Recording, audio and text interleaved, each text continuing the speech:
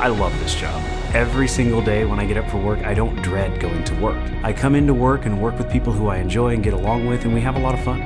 If you're an HVAC professional in the Puget Sound area, I highly recommend you come and look at Pacific Heating and Cooling.